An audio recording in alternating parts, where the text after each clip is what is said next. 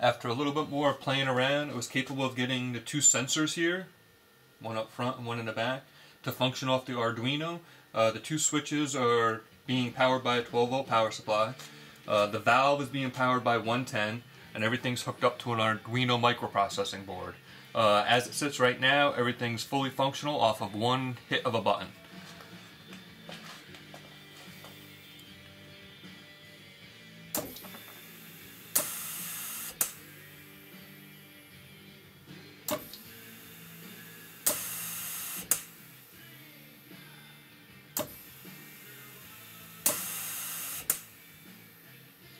And we're going to slide one of the switches up for the feed so it doesn't feed so far.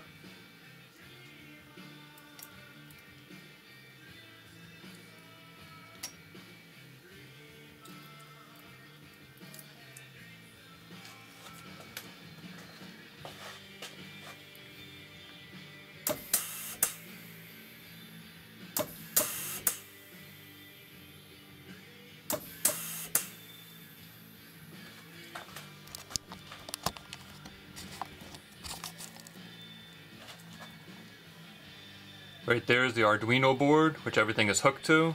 Got a little breadboard right there just to use as a circuit board for right now. Uh, lower we got the little, try to zoom in in here, a little relay to control the valve. There's one. Oh, there's a second.